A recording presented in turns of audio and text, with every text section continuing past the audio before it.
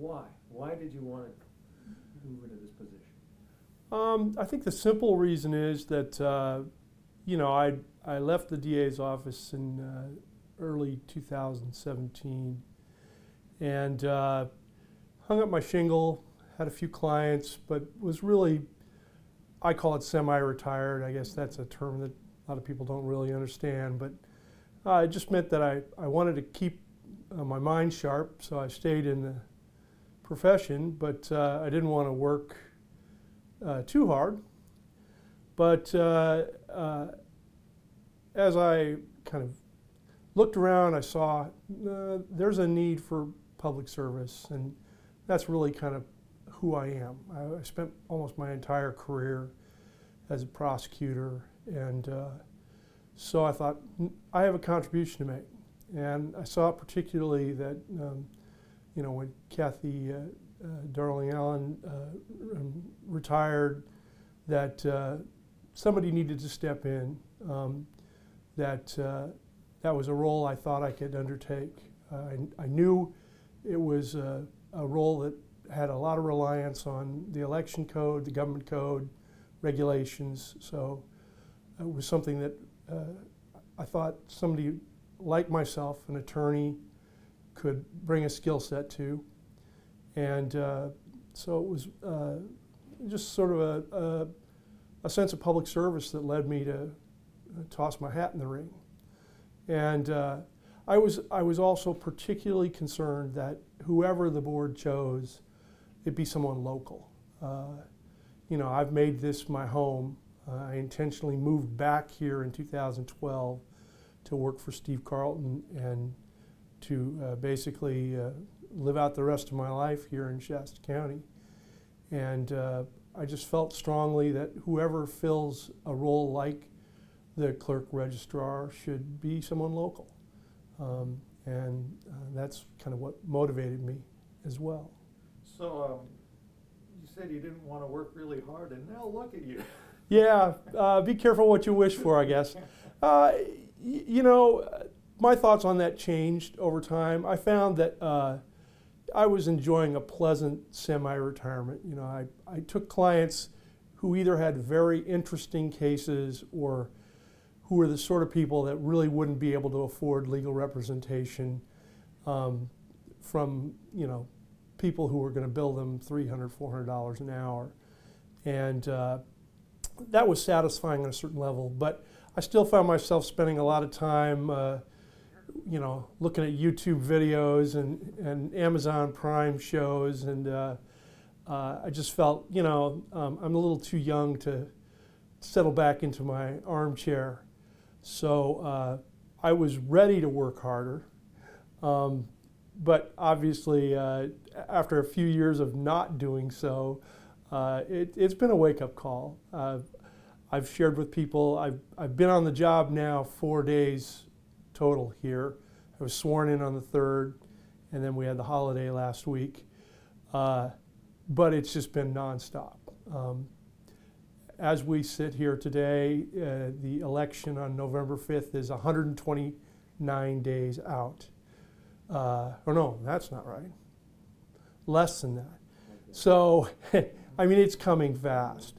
And uh, there are signposts that we're trying to meet almost every day now.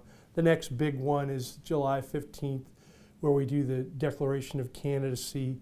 You know, people are going to be coming down to the Market Street office and signing up to run for school board trustee or uh, city council of Redding. Um, uh, lots and lots of open positions.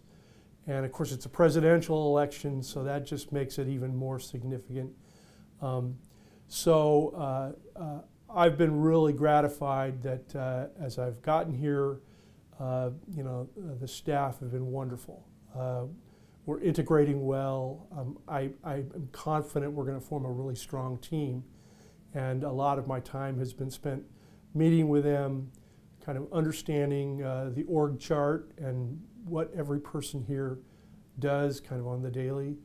And it's just been uh, very, very busy. Um, but I'm still super enthused about it. I really am confident that uh, um, we're going to have a successful election on November 5th. How, how has it gone? Have there been any surprises of like, oh my gosh, or, or anything like that, or about as you Um, expected? It's pretty much what I expected. Uh, you know, it is very heavily based on the election code. Almost everything we do, uh, there's some reference to an election code section. And so I found myself uh, doing a little bit of uh, interpretive work there. Um, and uh, there's a lot of, of uh, documentation. Um, we're constantly uh, creating documents or filing documents with the state or preparing internal training guides. And uh, so there's, it's, it's a very uh, uh, information rich environment. And uh, I'm just, my nature is to try and stay on top of that, to try and drink all the information in and process it. And uh, uh, the one thing I've learned is it's really helpful to be able to roll up my sleeves and actually uh, do some of the work, get involved in it, because that kind of imprints it. That makes it real and uh, helps me master it. You know So- what people are really doing. Yeah, doing you, yourself. you know, it's you can hear other people talk about it, but when you actually get in there and see it being done and help do it yourself, it, it gets real. Um, so uh, I think it's just going to be more of that and more intense as uh, the next few weeks unfold. But uh, I'm also really confident that um, this this uh, group of people has been doing this very well. Uh, you know, there's always been mistakes. Nobody's perfect, um, but I think there's a, a willingness on the part of everyone here to kind of learn from those mistakes, make sure they don't happen again, um, root out the problems and correct them. Um, and there's a, a real uh, service ethos. People here want to serve uh, Shasta County. They want to they want to do a good job for the citizens here. Probably the, the majority that, that appointed you and, and definitely some of the people there, uh, you know, in the, in the supervisor's chambers are looking to you to push back on the state. How do you feel about that? You know, particularly, you know, the, the hand counting and things like that. Certainly. Um, well, I've explained to a number of uh, folks who sort of represent that uh, side of the coin, if you will, that uh, I see this as uh, at least two phases. There's the election, and then there's after the election. R- right now, all my energies have to be concentrated on uh, bringing out a successful election November 5th.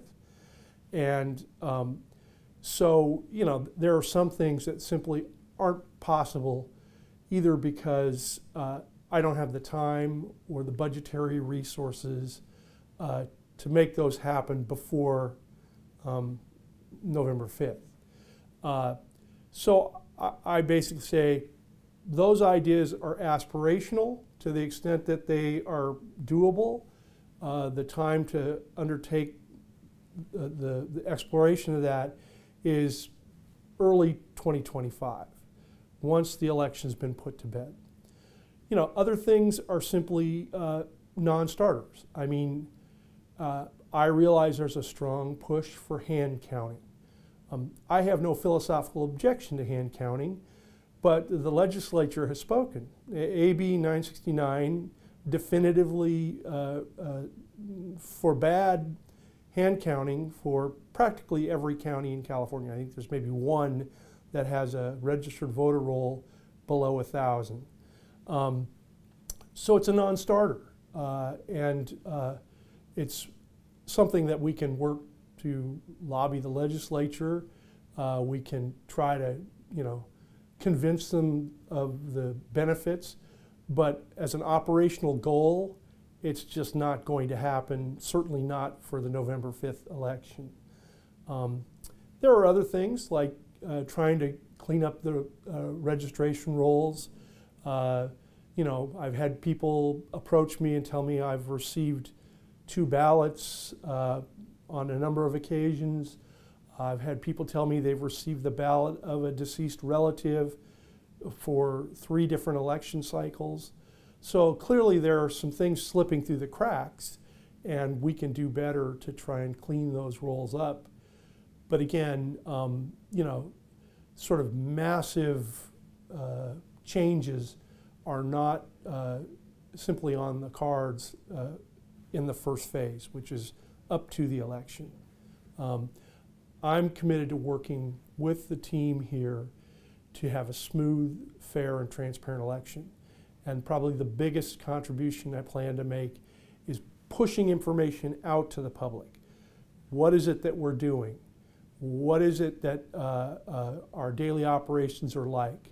If they have questions about the Hart voting machine, or they have questions about uh, um, what the poll workers are doing, or how the canvass is conducted, um, we're going to be very proactive in trying to get that information out to people. Um, and, uh, you know, that I think will help uh, increase people's confidence. That- During those interviews with everybody, uh, the word transparency, I mean, if that was a drinking uh, game, you know, I'd be on the floor.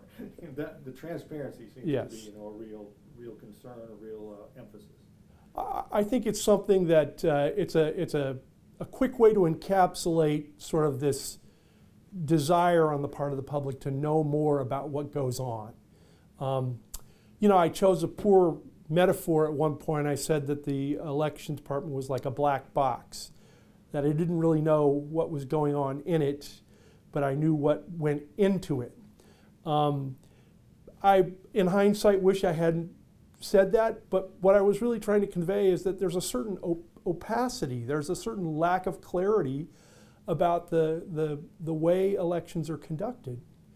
And um, I just think I can remember back to my civics class in eighth grade where we learned a lot about how representative government worked.